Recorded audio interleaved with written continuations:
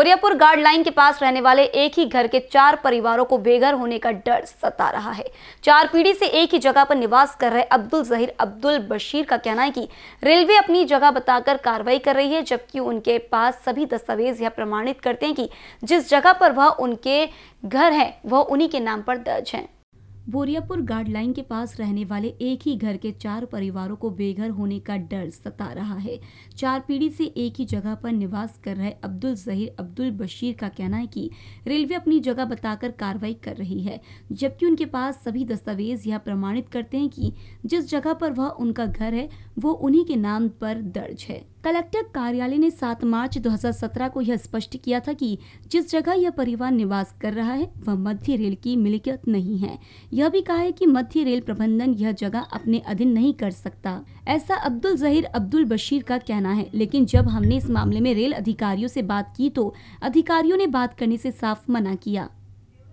हम अब्दुल जहीर, अब्दुल बशीर। प्रॉब्लम ऐसा है कि ये जो जगह है हमारी, जो आज रेलवे वाले आए थे पोजीशन लेने के लिए। असल में जगह रेलवे की है नहीं डिस्प्यूट ये है। और वो अभी तक सॉल्व हुआ नहीं। रेलवे विभाग ने deputy commissioner of land record को अपील किया था कि भाई इसकी मोजमाप की जाए और जगह किसकी है बताई जाए, क्योंकि कॉम्पिटेंट अथॉरिटी तो रेवेन्यू डिपार्टमेंट ही है।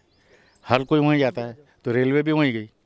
अब बाद में मोज माप होने के बाद में इंक्वायरी होने के बाद में उन्होंने निर्णय दिया कि ये जगह रेलवे की नहीं है। अब प्रॉब्लम ये है कि अप्लीकेशन इन्होंने किया और ये उनके रिज़ल्ट को नहीं मानते। ऐसी प्रॉब्लम है। एक्सेल में ये है स्टेट गवर्नमेंट की जगह। रेलवे की नहीं है। रेलवे हमको खाली करने ना आए। जब ये जगह रेलवे की है नहीं तो रेलवे कैसे आएँगी खाली करने? खाली करने वो आएगा जो ओनर है। जैसे एनआईटी की जगह तो एनआईटी वाले आएँगे एन की जगह तो एनएमसी वाले आएँगे। रेलवे की जगह तो रेलवे वाले आएँगे लेकिन रेलवे की है नहीं वो आते क्यों है? नहीं नहीं। वो इतना झूठ बोलते हैं कि मैं क्या बताऊँ? वो लीज नहीं है वो लाइसेंस है।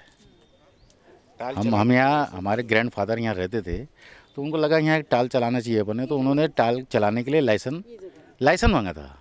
लीज नहीं मांगा गलत बोल रहे हैं आप पूछ लो जाओ उनके पेपर देख लो आप जाके। लीज नहीं है। कैमरा पर्सन अखिलेश भारद्वाज के साथ क्षितिजा देशमुख बीसीएन न्यूज़ नागपुर।